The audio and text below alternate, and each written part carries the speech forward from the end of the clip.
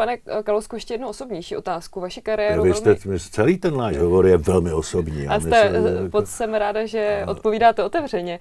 Mě by zajímalo, vaši politickou kariéru provázely přesně výtky z nadmíry, konzumace alkoholu. Mě by zajímalo, jestli Jestli jste si někdy třeba toho panáka dali, jestli vás tomu dohnala politika, já si, nebo já, jak... Já nejsem, já nejsem abstinent, ale myslím si, že prostě tohle je, vemte si, že přesně ten samý typ pomlouvačů, který to hází na mě, ten přesně samý typ to vyčítal třeba Václavu Havlovi. Mm-hmm. To prostě do dneška čtete na internetových diskuzích Venca Flaška. A, a opravdu tomu tak nebylo.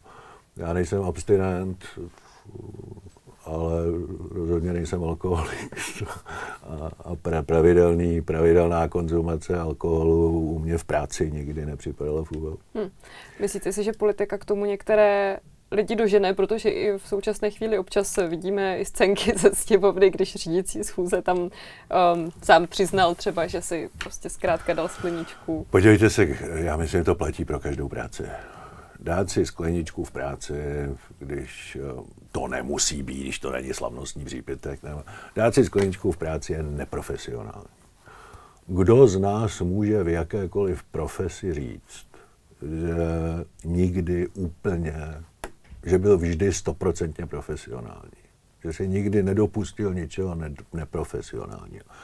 Já si troufnu říct, že poctivě tohle nemůže říct nikdo. Akorát, že na ty politiky pořád míří kamery.